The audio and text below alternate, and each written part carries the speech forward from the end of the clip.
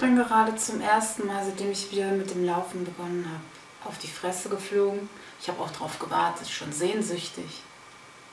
Ich kann nur von Glück sagen, dass ich nur einige Ausfallschritte gemacht habe und dann im Grünstreifen gelandet bin. Ja, es, es geht gar nichts mehr. Nichts, nichts. Ich kann hier mich nicht mal von A nach B bewegen im Haus. Die Beine sind ja jetzt gerade 30 Mal spastischer, als es vorher schon waren. Von den Armen und der Funktionalität meiner Hände möchte ich gar nicht erst sprechen. Ich, ich, ich, ich würde ja drüber lachen, wenn es nicht so dermaßen zum Heulen wäre.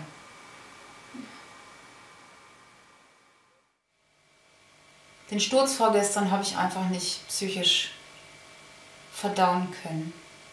Ich habe ziemlich viel Tramal genommen, das Ganze noch kombiniert mit Alkohol. Und um mir endgültig das Licht auszuknipsen, abends zwei Zero Quell obendrauf als Sahnehäubchen und lag dann aufs Sofa betoniert und war nicht mehr in der Lage, mich adäquat zu artikulieren. Nun ja, ich habe das Tronabinol nun abgesetzt, vorerst, ich werde es auch wieder ausprobieren, aber kann heute zum ersten Mal sagen, dass ich etwas mehr Kontrolle über meine Beine habe.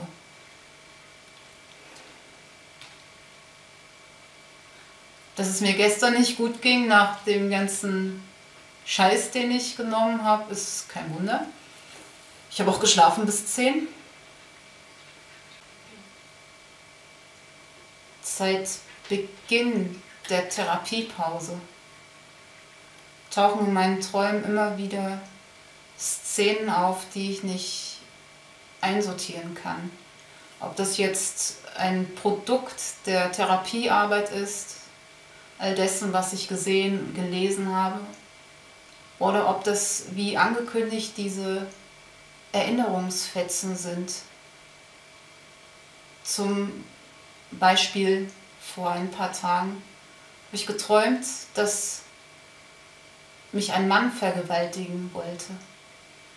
Und alles, was ich sah, war dieser Pimmel und der versucht hat, in mich einzudringen. Und ich sah an mir runter und das war der Körper eines Kindes plötzlich. Und untenrum war alles zu, zu betoniert. Und er konnte nicht eindringen weil ich eben ein Kind war und viel zu eng. Oder heute Nacht, da saß ich am Esstisch meiner Eltern und sah wieder an mir runter und habe auf meinem Bauch eine proportional zum Körper monströse alte Männerhand liegen gesehen, die langsam den Bauch hinabstrich. Und erneut war es kein Körper eines, einer erwachsenen Frau, sondern der Körper einer vielleicht Sechsjährigen. Und diese raue Hand fuhr den Bauch hinab zwischen die Beine. Und ich distanzierte mich von dem Ganzen und fühlte, dass es nichts mit mir zu tun hat, dass ich daneben stehe und eigentlich nur Beobachter bin und zugucke. Und wollte dieses Bild nutzen, um mal mir vorstellen zu können, was das für das Kind bedeuten muss. Und dann habe ich diesen fürchterlichen Schmerz gespürt, der sich nicht in dem, was die Hand der Tat begründete, sondern einfach in dieser grauenvollen Angst, weil sozusagen aus Spaß plötzlich ernst wurde. Eine fürchterliche Gefahr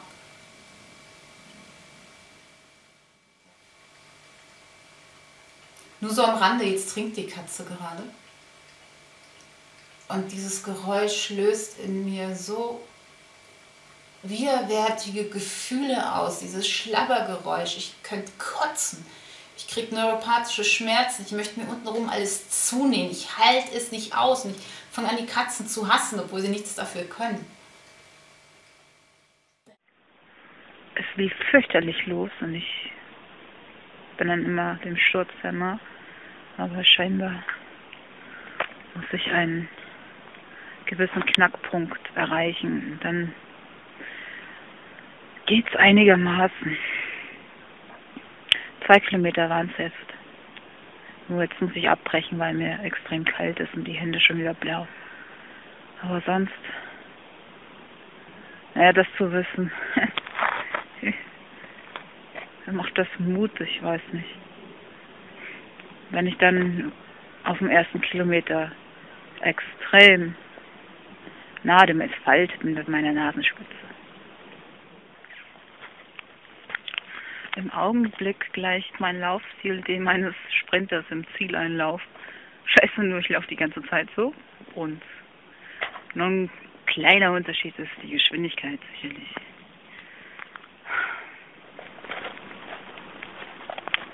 Ich wurde von einem älteren Spaziergängerpärchen gerade ganz mitleidig angeguckt und gefragt, ob ich nicht mehr kann. Ja, der fette Klops kann nicht mehr, der fette Klops ist zu müde in meinem Kopf ein einziger Kampf, eine Diskussion darum, ob ich laufen darf, ob ich nicht laufen darf. Das, äh, das nervt. Immer den ganzen Klops in seiner vollen Pracht, der dicke Klops mit seinen dicken Stummelbeinen. Was kriegst du was für dein Geld? das Tronabinol jetzt mittlerweile auf zweimal täglich drei Tropfen. Und die letzten beiden Tage dachte ich, okay, eine Pause könnte gut tun. Ja, Edge war aber nicht. Ja, es geht tatsächlich noch schlechter. Und heute ist sozusagen so ein noch schlechter Tag. Freude. Hey Süße.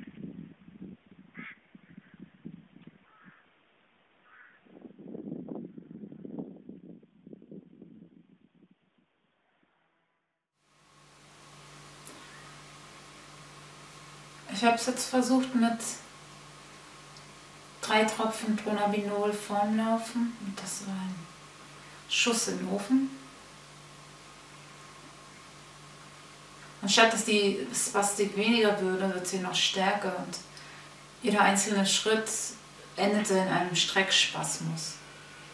Und ich denke, wäre ich weitergelaufen, wäre ich auf die Fresse geflogen.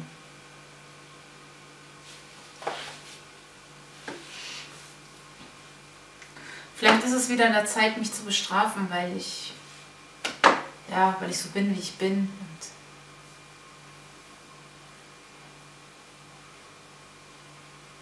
Und, meine Aggression irgendwie nicht im Griff habe. Und dann austicke und ich, ich weiß nicht einmal warum. Es geht schon seit jeher um dieses Nein, um mein Nein und der Missachtung dessen. Ist mir nun irgendwo an irgendeinem Punkt meines Lebens etwas passiert, wo dieses Missachten meines Neins so gravierende Schäden hinterlassen hat, dass ich jetzt zum Täter werde, indem ich mich und meine Aggression nicht im Griff habe?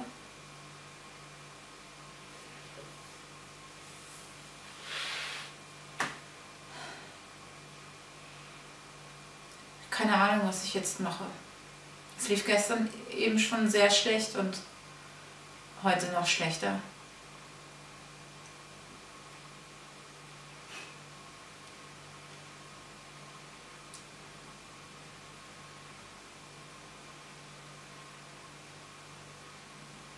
Gut möglich, dass da noch einiges hinterherkommt. Ich konnte die diese Wut ja nicht aus meinem Bauch rauslaufen.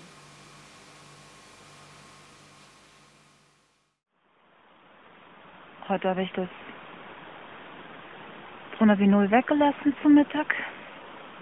Dafür das Liorisal wieder auf volle 25 Milligramm hochdosiert und eine halbe Dosis Tramal.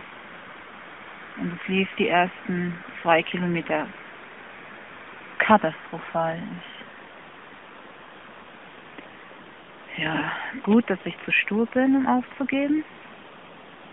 Jetzt habe ich gerade drei Kilometer und werde noch weiterlaufen, weil das Wetter soll jetzt umschlagen in Richtung Winter.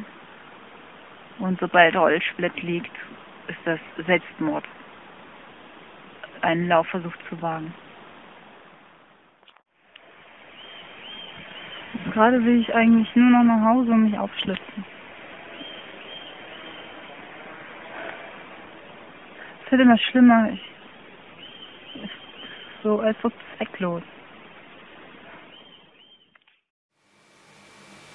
Die Tage vergehen und es passiert aber nichts in irgendeine positive Richtung.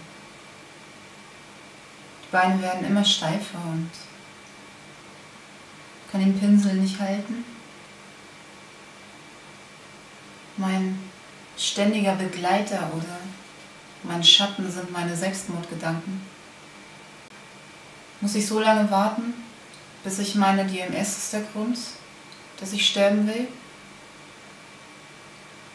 Oder mache ich vorher Schluss? Solange ich es selbst noch kann.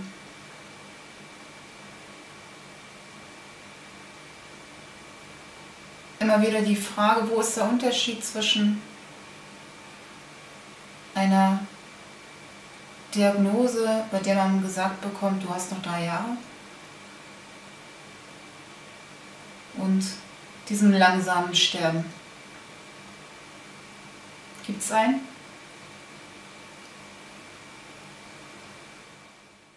Ich zermarter mir soeben das Hirn mit der Frage, ob ich laufen kann, ob ich es riskieren kann.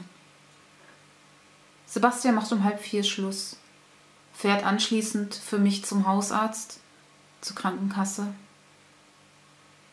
Ich bin angewiesen, in gewissem Maße ausgeliefert und ich ertrage diesen Umstand nicht.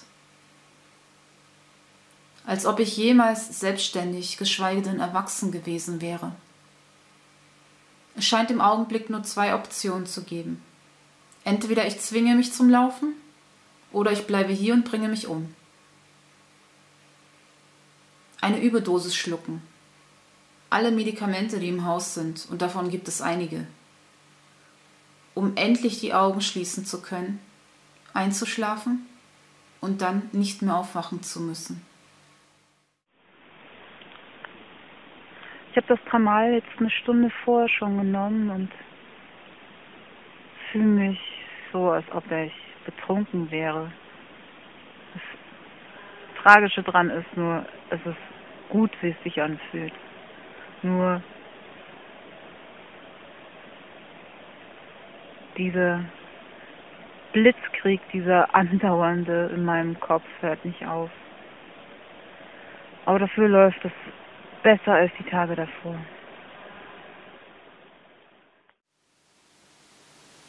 Ich habe nun mehrfach zu hören bekommen, dass ich besser, dass ich lebendiger aussehen würde. Wie definiert sich diese Lebendigkeit über im Vergleich zu letzten Jahr 10 Kilo weniger? Ist es das? Es geht mir überhaupt nicht mehr gut. Es hat sich in meinem Kopf wieder dieser Virus festgesetzt ob ich einen Schub habe oder nicht. Es bewegt mich im Moment nichts anderes.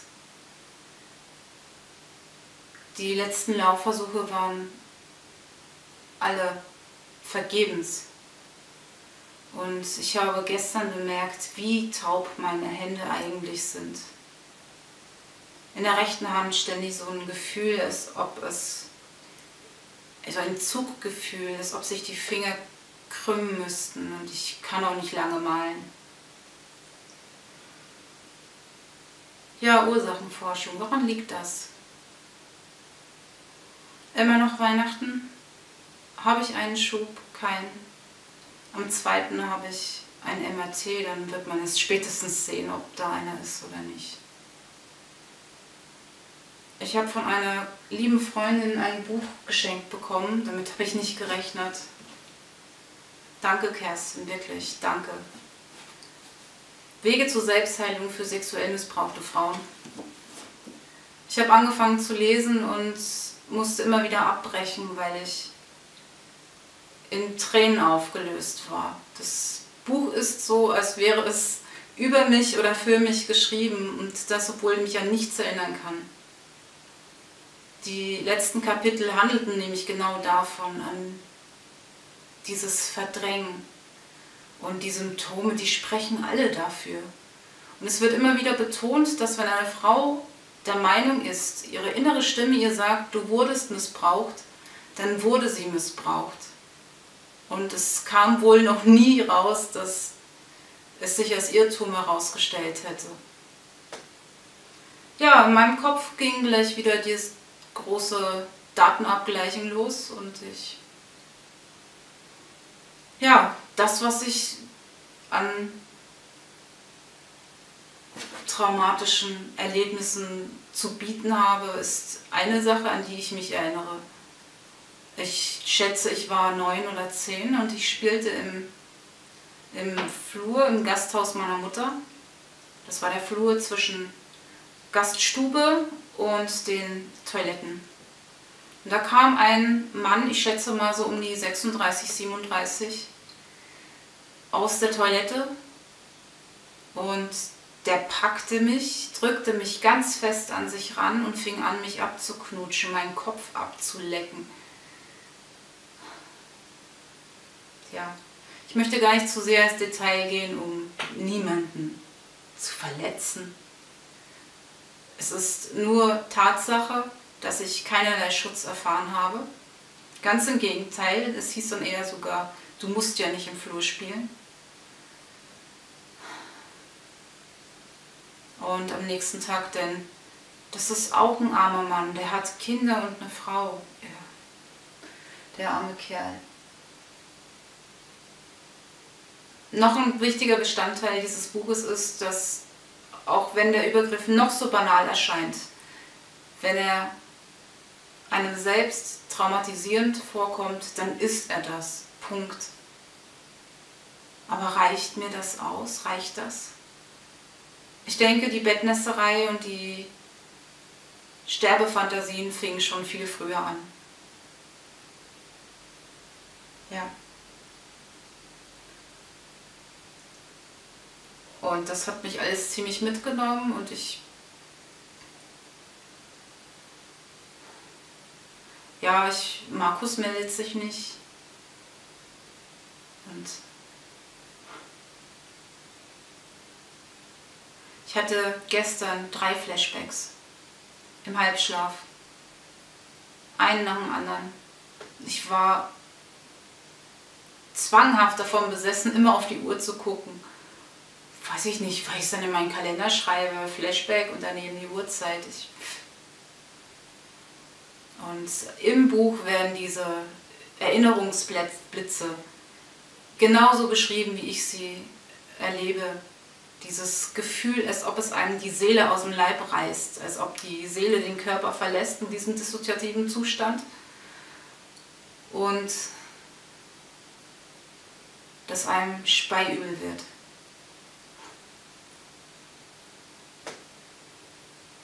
Ja, gutes Zeichen. Das Buch ist sicher wieder ein netter Trigger und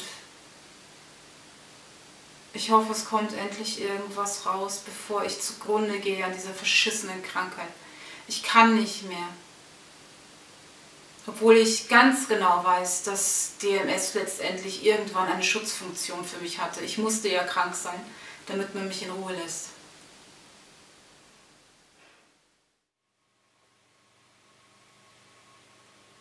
Mein zerfranstes Nervenkostüm erträgt dieses nicht enden wollende Telefonklingeln den ganzen Tag über nicht mehr.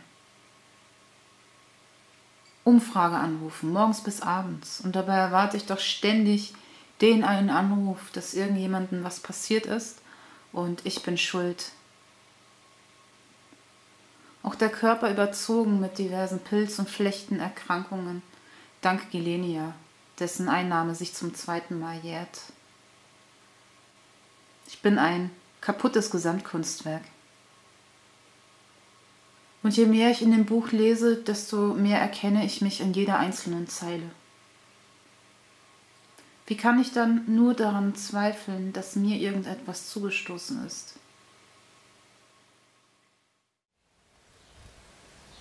Als ich gestern so auf der Terrasse saß und die Vögel beobachtete, kam mir die wahnwitzige Idee, die Krampflöser radikal von einem Tag auf den anderen abzusetzen. Das Stronabinol und das Lioresal. Zumal ich gelesen habe, dass das Baclofen mitunter dazu führen kann, dass es Spastiken verstärkt. Ich will nicht zu voreilig sein, aber scheinbar kann ich heute die Beine besser anheben als die Tage davor. Das schreit nach einem Laufversuch.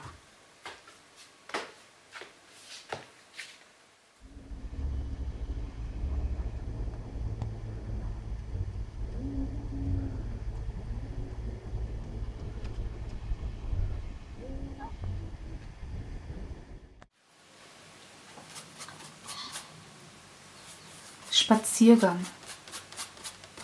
Das Krächzen der Krähen erfüllt die Luft. Im Abendrot singen sie ihre Lieder, kreisen dort drüben über den Hügeln, lassen sich auf schlafenden Buchen nieder. Ich halte inne und blicke dann auf ihr allabendliches Treiben. Die Sonne versinkt am Horizont. Auch ich werde nicht länger bleiben. Getrieben von Trauer, gehetzt von Schuld. Hinab in den Schatten, hinab ins Tal setze einen Fuß müde vor den anderen.